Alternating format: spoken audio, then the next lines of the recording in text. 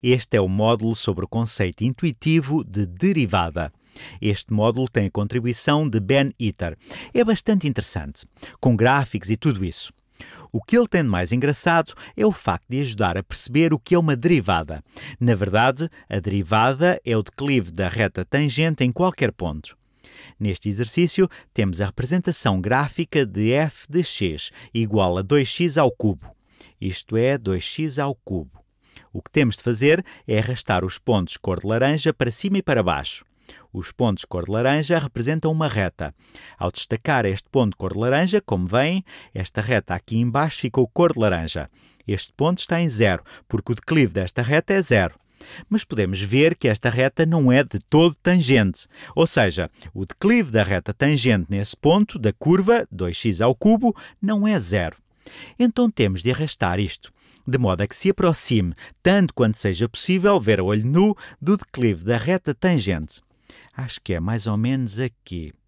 Parece-me estar muito próximo do declive da reta nesse ponto. Entretanto, podem ver aqui em cima d dx de f em menos 2, a derivada de f quando x é igual a menos 2, é o mesmo que perguntar qual é a derivada quando o argumento da função é igual a menos 2. Esse é o declive. Ao colocar o ponto aqui em cima, estou a afirmar que o declive é igual a 24 nesse ponto. É uma boa aproximação, vista a olho nu. Agora vamos fazer o mesmo para este ponto.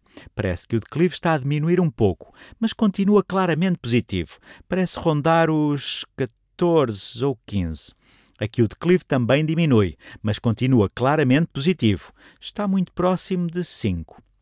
O declive está a decrescer, aqui está próximo de zero, parece ser um ponto de inflexão. O declive aqui é zero e vemos aqui a derivada de f em zero é zero, o que significa, em termos técnicos, que o declive da reta tangente, ou o declive da curva neste ponto, é zero. É horizontal e dá para ver isso. Depois vimos aqui, queremos encontrar o declive, a derivada de f, em 1. Agora o declive parece estar a crescer. Isto é interessante. Aqui o declive era claramente positivo, porém estava a decrescer à medida que nos aproximávamos deste ponto. Reparem que o gráfico estava cada vez mais horizontal. Entretanto, depois de zero, o declive começa de novo a aumentar. Neste ponto, queremos fazer uma tangente. Reparem, o declive aumentou em relação ao valor que tínhamos em 1. Aqui temos o declive, depois fazemos este declive. Se nos aproximarmos, traçamos o gráfico da curva de derivada. Cá está. O que é interessante é que não determinamos a derivada em todos os pontos da curva. Fizemos-lo apenas em relação a estes pontos especiais, quando deslocamos estes pontos cor de laranja. Mas como pusemos os pontos cor de laranja suficientemente próximos do valor da derivada, numa aproximação olho nu do que deve ser a reta tangente, o módulo disse OK, bom trabalho, e traçou todo o gráfico de declives das retas tangentes, ou seja, o gráfico da derivada.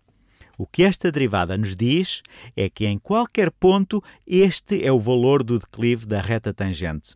Apesar de não termos arrastado o ponto correspondente a menos 0,5, se chegarmos aqui parece, não sei, talvez 2,5.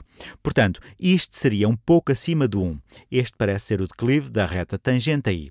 Ou se viermos até menos 2,25, o declive da reta tangente parece ser aproximadamente 30. Tendo a curva, temos também o declive da reta tangente, ou seja, da derivada, em todos os pontos que vemos aqui. Este exercício pareceu-me bastante interessante.